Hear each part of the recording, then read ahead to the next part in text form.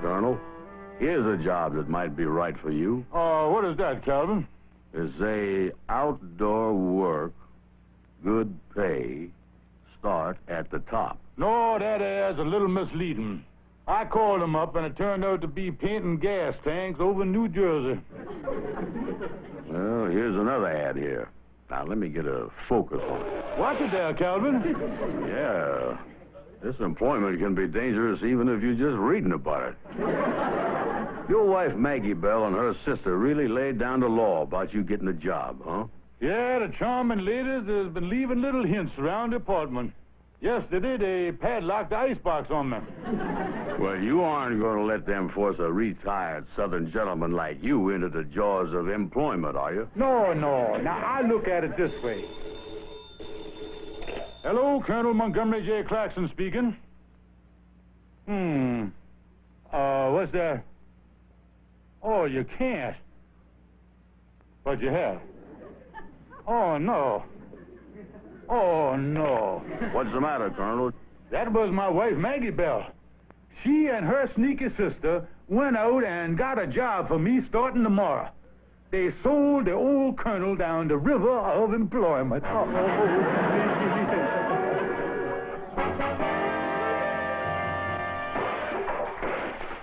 You get out of this house and get to work, you loafer. Don't you scream at me. Don't you scream at me not to scream at you. Don't you scream at my sister while she's screaming at you. Don't you scream at me while I'm screaming at my wife. Quiet!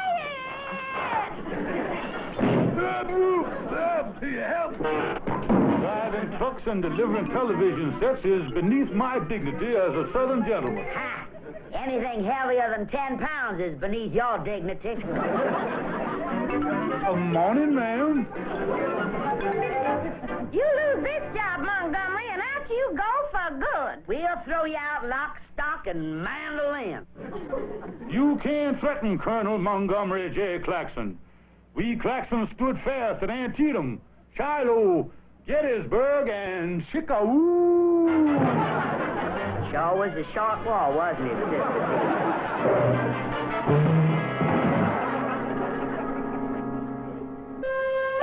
Hmm, that shook loose a thought from the old Colonel Cerebellum here. I ought to get someone to lift them heavy television sets for me. Someone with a strong back and a weak mind. Huh. How you like that? I describe my good friend Calvin Burnside.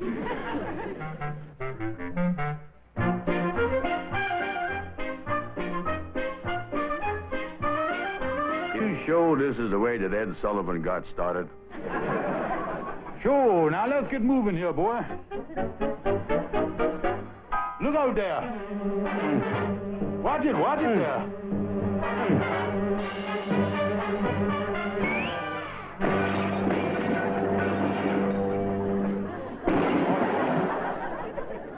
Either pop my pancreas or slip my sacred iliac here.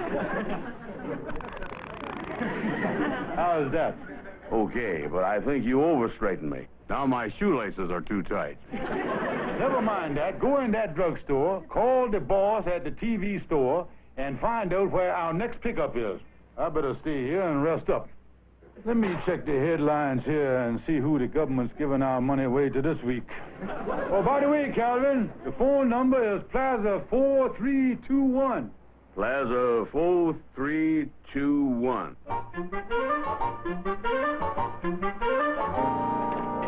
Plaza 4321. Harold's Television Service. Uh, I'm calling for Colonel Klaxon. Is that you, you big dummy? No, sir. This is his friend. I'm a different big dummy. the colonel wants to know where the next pickup is. I got a set to be picked up over at 1431 Riverside Drive, Apartment E. Tell him to get right on it. Uh, Roger. Wilco. Over and out. One four three one Riverside Drive, Apartment E. I wish I had a pencil. I think I can remember that. One four three one Riverside Drive, Apartment E. Why, Calvin Burnside. How are you? One four uh Uh, uh, how did do? Calvin, you remember me. I'm Gladys, the waitress at the 330 Club.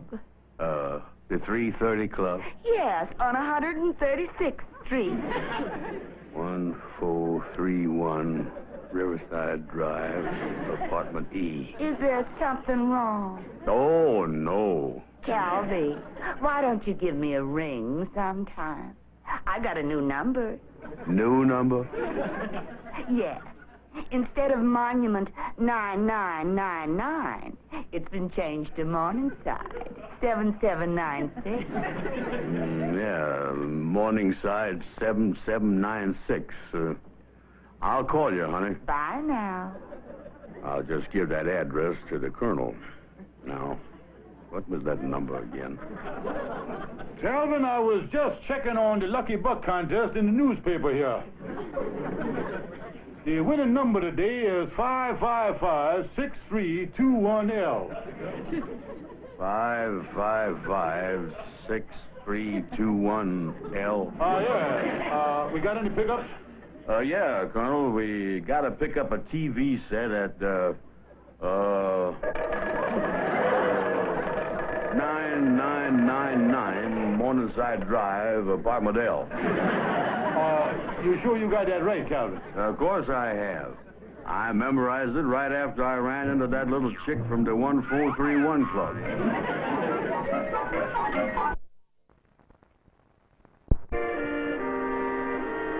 After the bowl is over, after the break of moan, after the dancers leaving, after the stars have gone. That you saying, Sister Sue? That shows me, Maggie. I was just recalling when I was the belle of the ball back in Nashville. I declare, I had more gentlemen friends than the South had boll weevil. Oh, Sister, I feel kind of sad. You know, this week is Montgomery's birthday. Mm. I'd feel sad, too, if I was married to a shank-sprung old foof like that. Oh, he didn't really get foofed up till I had him a while. You're forgetting what a four-flusher he always was. I remember when he was courting you. All his talk about his big plantation. Well, he did have that old southern mansion. Ha! That's the first old southern mansion I ever saw where there's smoked hams in the living room. I still think I ought to get him something for his birthday. I just know he's gonna do all right on this television job. Don't you believe it, Maggie Bell? Ha! He'll find a way to get himself fired before the week's out.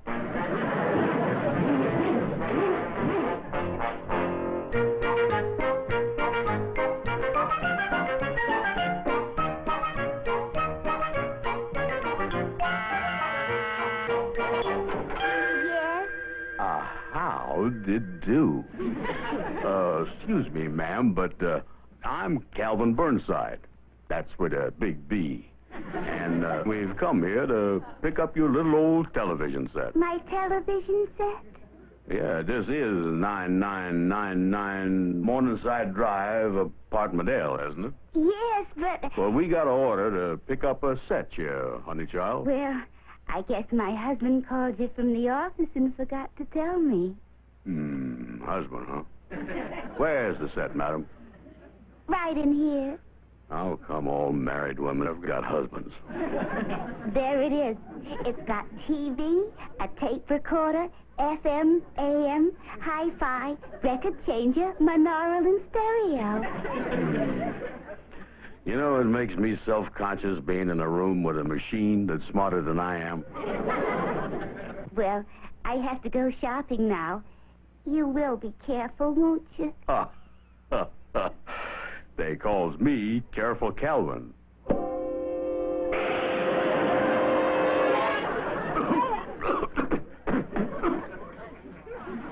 Don't worry about a thing, lady. Ah, nice looking gal there, Calvin. Yeah, she looks like a toothpaste tube that's been squeezed in all the right places. Never mind that. You get a grip on the set there, and I'll be right with you. Well, I knew television was getting pretty crummy, but I didn't know it had sunk this low. Hmm, Get out of here.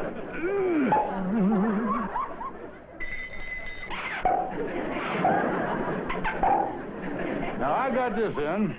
Now, you go around lift up your end. Okay. Alley oop.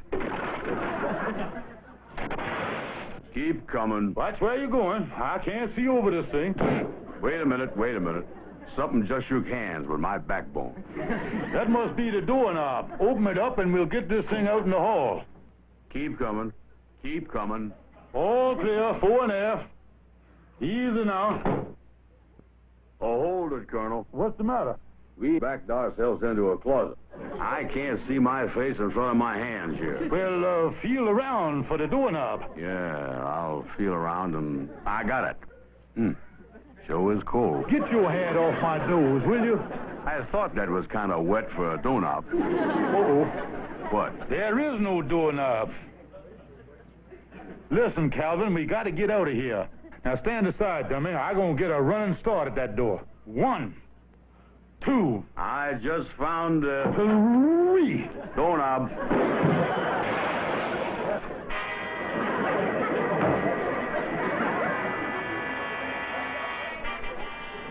Calvin, what are you trying to do to me? If I mess up this job, Maggie Bell and her sister are going to book me into the fracture ward for an unlimited engagement. I wonder if Ed Sullivan got this bruised up learning television. Oh, shut up and let's go here.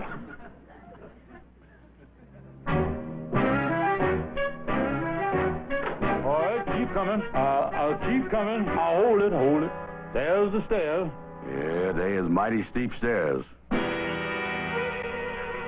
It's going to take us a long time to get this big set down that Grand Canyon. Uh, nothing to it, Calvin. We'll have it down in a jiffy. Now, I'll go first. All right, keep coming. Uh, I'll keep coming. I'm coming. I'm coming. I'm coming.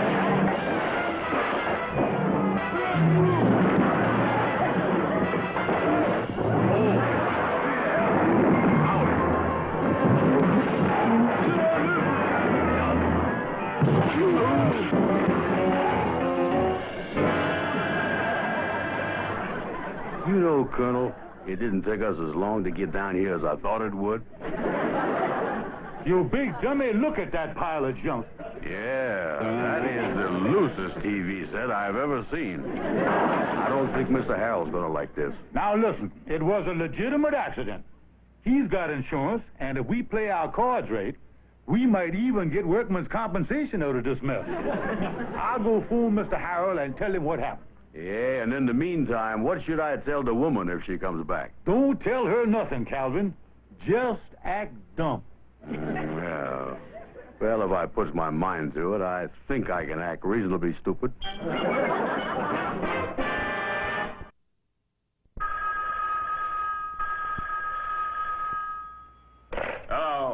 TV repair. Oh, Mr. Harold, uh, this is Colonel Klaxon. Oh, is it really you this time or that other dummy? No, no, this isn't him. This is the head dummy. Uh, and I got something to ask you, Mr. Harold. Well, I got something to ask you. When are you going to pick up that TV set? Well, we, uh, uh, about... The man's been waiting at his apartment all afternoon. Well, Mr. Harold, you're not talking about the set at 9999 Morningside Drive, apartment are you? Of course not. I'm talking about the set at 1431 Riverside Drive, apartment E. Uh, excuse me, Mr. Harold, uh, could you repeat that? Uh, your words slipped past my eardrum before I could get a grip on them. 1431 Riverside Drive, apartment E.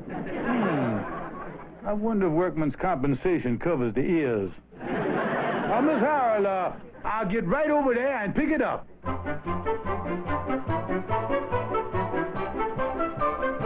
Now, how you like that? Calvin and me picked up the wrong set.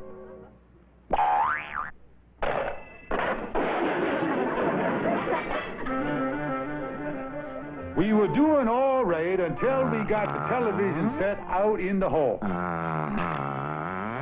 And then, Uh-huh.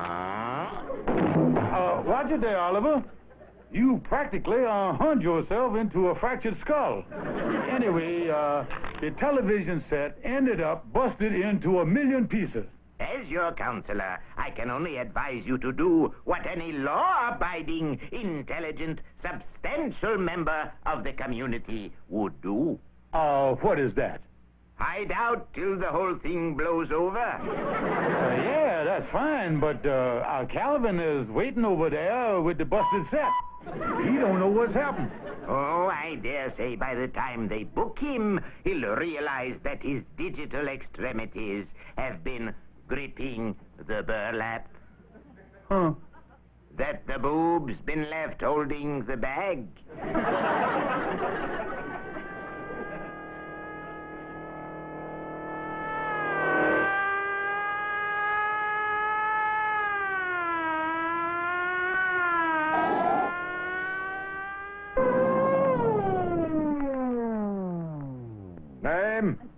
Calvin, uh, uh, uh Calvin, uh, uh, B- Burn. Well, it's Burn something, uh, oh yeah, yeah, Burnside. Empty your pockets. Give me your right hand. Hold it. Okay, now a profile. That's him, the big dumb one.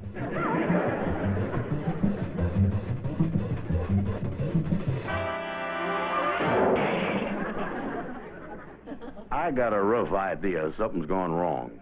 I'm gonna kill that colonel.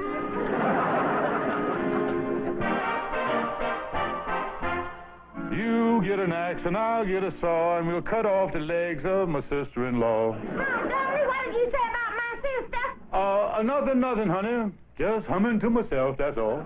We're going out and do some shopping. How do we look? Yes. Aren't these new short skirts attractive on me and sister? Well, I don't like to criticize, but your kneecaps have always been kind of bony. Well, I've seen smoother joints on a drain pipe. One more crack like that and your teeth will be grinning at us from behind the radiator. Ah, yes, Maggie Bell, honey. We'll be back after a while.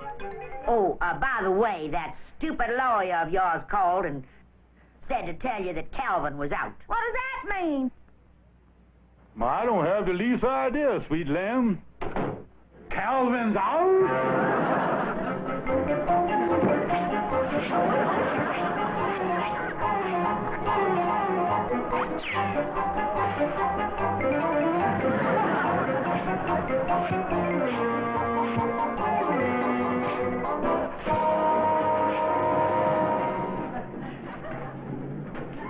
Don't just stand there, dummy. Give me a hand. If that big stupid Calvin ever got in here, he'd turn me into Colonel Burgers. He's gonna, he's gonna, uh, the thing is, uh, he, uh, uh, the, uh, the, uh, Are you in there, Colonel? Montgomery, I'm really going to work on that face of yours. I'm going to close everything that's open and open everything that's closed. you certainly are thorough, aren't you? Listen, I had to pay that woman $300 for the TV set before that judge sprung me out of that iron motel. And I'm taking it out of your hide. Ah, wait a minute. You wouldn't hit a man with a bad liver, would you? You haven't got a bad liver. Oh, no? I had one for lunch. Oh.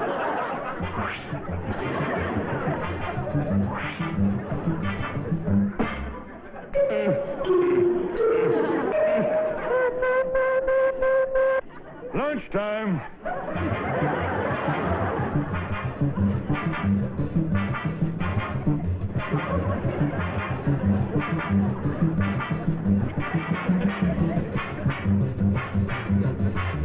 All right. Go ahead.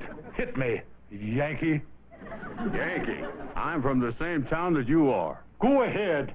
Trample on the stars and the bars. Oh, I wouldn't do that. Turn your back on Stonewall Jackson, the boys in gray, the magnolias, the chitlins, the corn pone, and everything that we hold sacred as Southern gentlemen. But, Colonel, Hats off. They're coming down our street.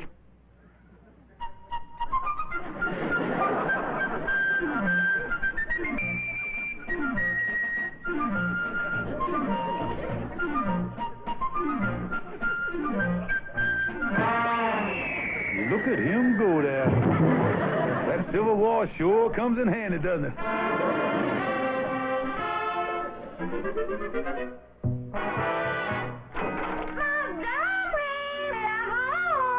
Where are you, lammy pie? Lammy pie. How come you smiling? I haven't seen you grin like that since the lawyer read your papa's will. We're so proud of your new job, Montgomery, that sister and I bought you a birthday present. Birthday present? Why, sweetheart, I'm touched. Look at the way my tear ducts are puckering up there. Stand back there before they squirt all over you. We ran into your friend Calvin on the street. And he sold us a wonderful combination television set for $300. Yes, and he's delivering it right now. Come in, Calvin. Well, here's your birthday present, Colonel. Let me pour it out here for you. Oh, no.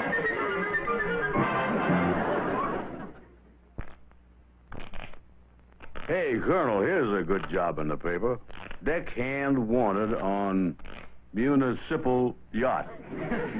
Local cruises only. No, no, Calvin. Don't fall for that one. I answered that once. That's a job on a garbage scour shoveling swill into the ocean off Sandy Hook.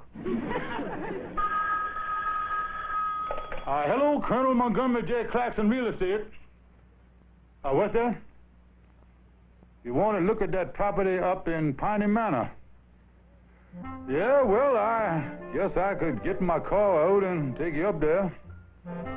Then we could park it and walk up that hill and then wade through that stream and climb down into that canyon and then, uh... You know something, mister? You got your nerve disturbing me in the middle of the morning like this. Now look, you fathead. Call some other real estate agent. Don't bother a couple of busy men like us. I really told that fellow off, didn't I, Calvin? Uh, Calvin. I say, Calvin. Uh, hey.